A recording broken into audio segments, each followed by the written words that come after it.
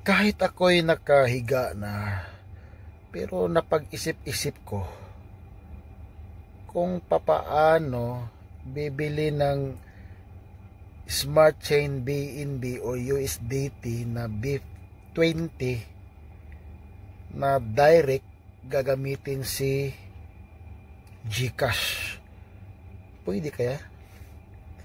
Kasi nagawa ko ng video noon na USDT from Binance going to Gcash.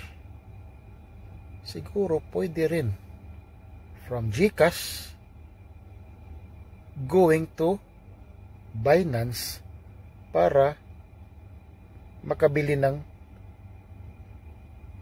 smart chain or USDT. Istadihan ko yan. Okay? Mga kalodi, abangan yan.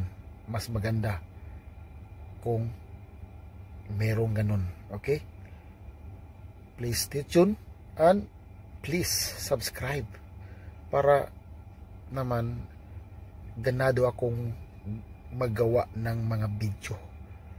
Okay? Tapos i-share nyo. Alright? Once again, Cryptoman. good night.